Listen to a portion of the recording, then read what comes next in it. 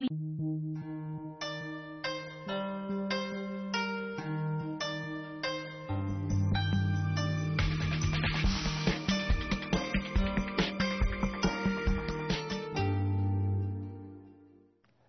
好，观众朋友，欢迎收看《国宝档案》。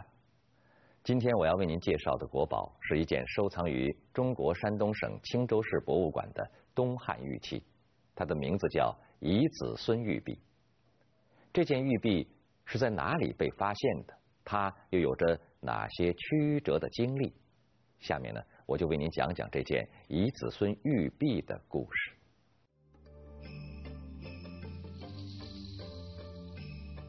山东省青州市博物馆收藏有一件中国东汉时期的乙子孙玉璧，它通高二十点八厘米，直径十五点五厘米，内径二点六厘米，用上等的新疆和田玉雕琢而成。玉璧一面的环与外廓之间雕刻有夔龙纹和乳钉纹。玉璧的另一面装饰有乳钉纹，外区有攀螭纹，中部有凸起圆环。玉璧出廓上方镂雕双龙钮，钮中央透雕“以子孙”三字篆书，这三个字是吉祥语“子子孙孙一世宜家”的简称。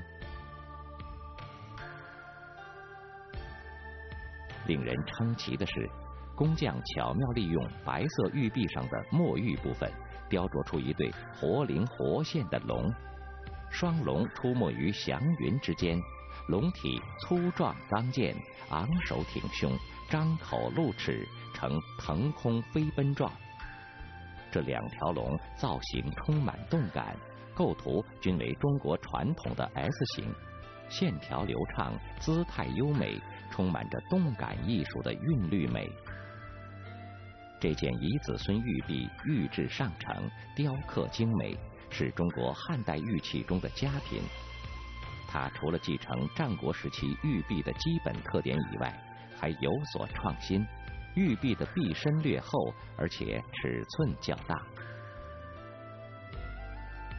工匠在雕刻过程中还运用阴刻线的手法来突出图案的轮廓。这件东汉遗子孙玉璧以体型大、雕工精湛著称，它是目前中国国内唯一一件刻有汉字的汉代馆藏玉璧。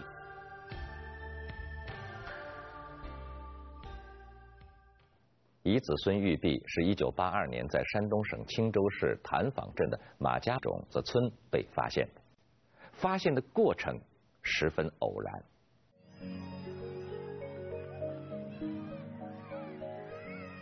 八二年，有一个同志发现，有个小孩用一个绳子拖着个白玉的东西在满街跑，当时他看到很珍贵，也很珍惜，所以就马上报告我们，我们派了同志。到了去调查，问他在什么这出来的？他爸爸告诉我一个过程，他说他们村东边有个种子，种子里有很多砖，老百姓都挖砖来盖房子，他就挖的时候发现这个玉璧。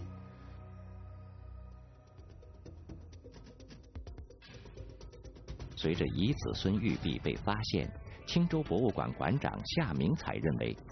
在青州市谭坊镇这附近，一定有一个大型的汉代墓葬。夏馆长在村民的指引下，果然发现了一个中国东汉时期的王室墓葬。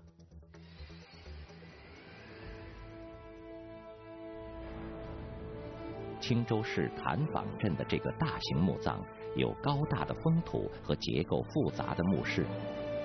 汉墓平面为甲字形。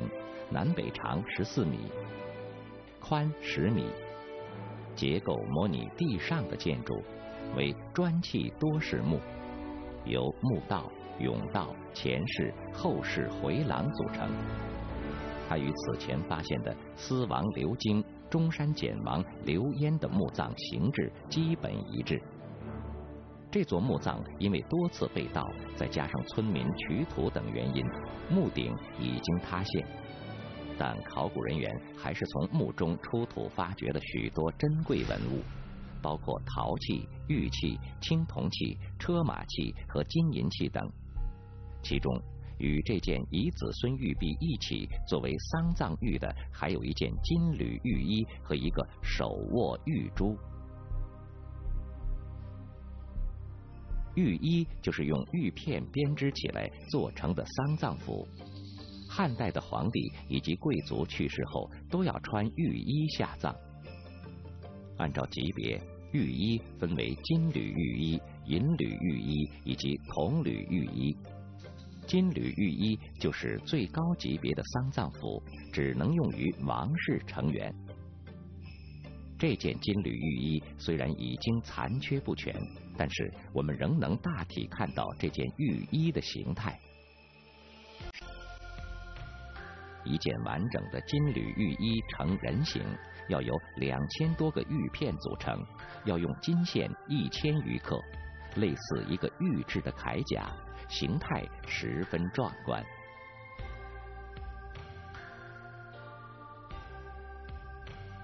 古人认为，死时不能空手而去。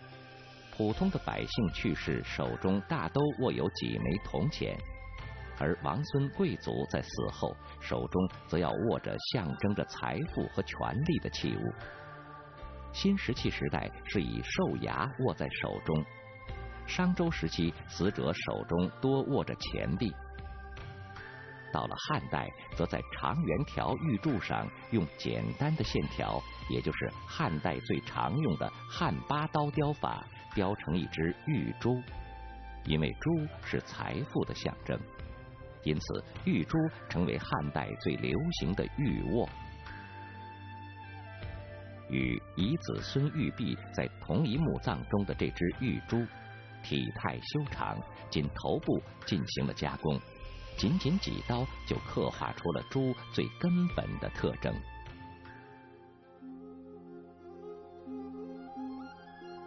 中国汉代人认为玉石能使死者的尸身不朽。根据《后汉书礼仪志下》记载，诸侯王、列侯、公主婢，皆令赠玉甲。也就是说，只有诸侯王、列侯和公主死后才能穿玉衣下葬，而金缕玉衣只能是王一级的人死后才能穿。专家由此认为，该墓葬的主人应该是中国东汉时期的一位王。但这件遗子孙玉璧的主人到底是谁？对此，研究汉墓的专家们有一种推测。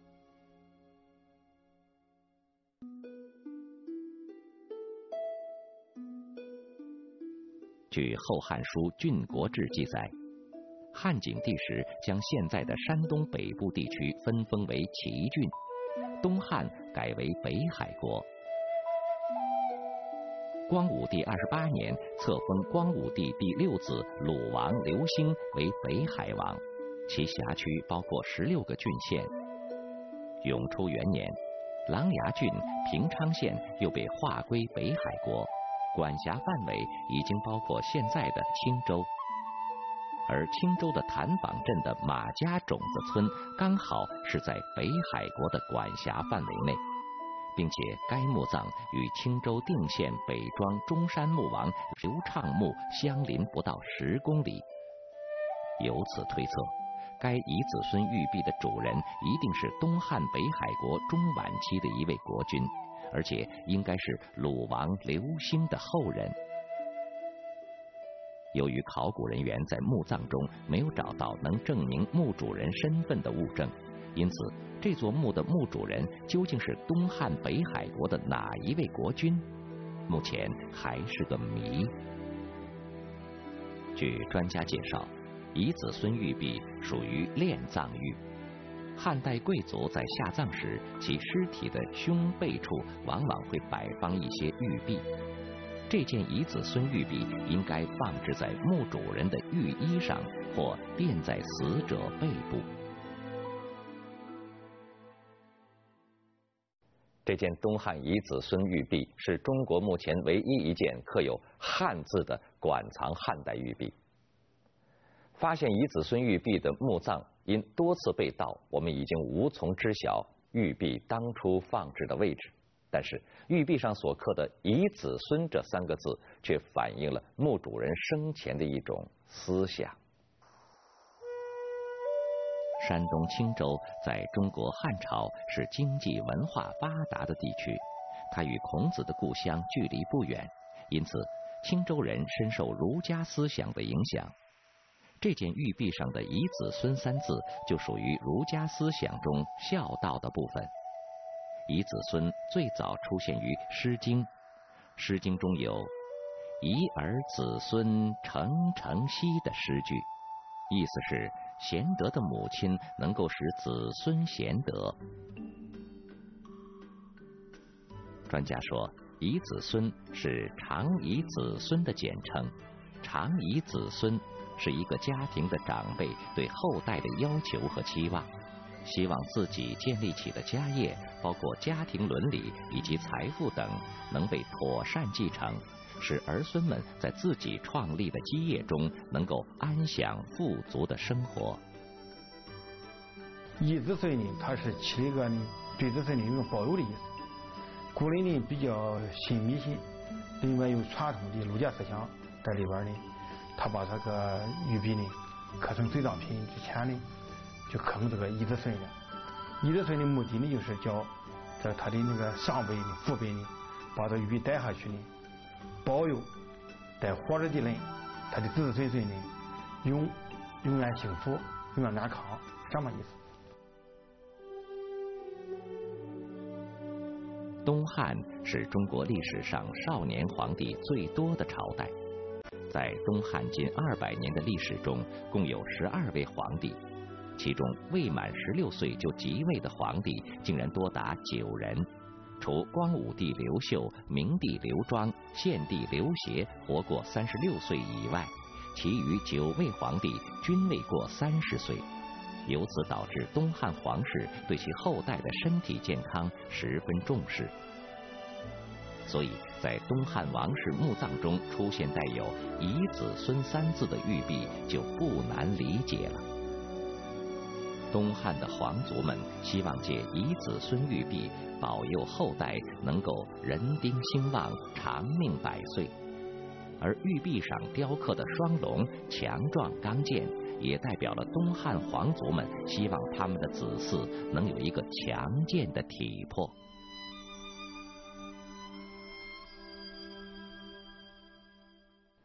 遗子孙玉璧啊，由于其重要的历史价值，成为青州博物馆的镇馆之宝。它除了彰显墓主人的高贵身份以外，还反映出儒家文化对汉代人的影响。好，感谢您和我一起穿越历史，感受国宝，分享文明。让我们下期同一时间再见。